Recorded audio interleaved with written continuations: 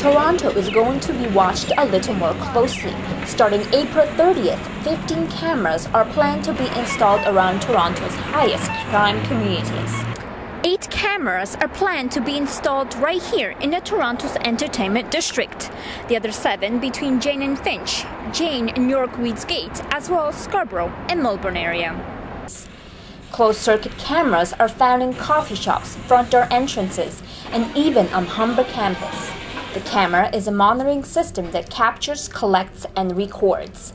Jeff McGuire, chair of the pilot project, is not sure if the cameras will prevent crime, but says through thorough investigation with his team at 51 Division, it's a step towards deterring crime. Um, Staff Sergeant Mark Barkley has done a lot of research on this for us, and um, around the world, CCTV cameras have been used, and some places they make a difference, other places they don't. So the whole purpose of the pilot is just to see will they help us here in Toronto.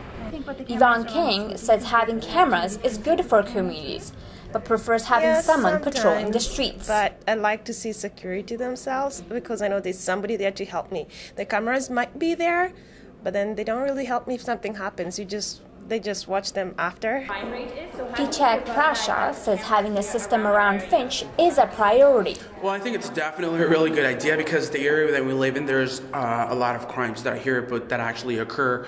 So with having obviously the cameras around, you know, the ones that who gotta commit a crime, they're obviously gonna think twice. Gary James, Director of Public Safety at Humber College, says circuit cameras work in deterring crime. They're there for a reason. I mean, there's a history. So, uh, and I think it's not so much what we're worried about the bad guy. We're interested in what's how it's serving the community and and making the the, uh, the people living in the areas feel safer. So I, I, think it's a great idea. Although the Toronto Police feel very confident with their chosen areas, Commander McGuire says there can be disadvantages um, one dis- one in having cameras only in targeted regions. Talked about is the displacement of crime. Sometimes if you throw cameras up in a particular area, um, certainly it's possible that that crime will just dissipate out into neighboring communities. And we're very cognizant of that. And that's why the, the cameras are not anything that we're doing on their own.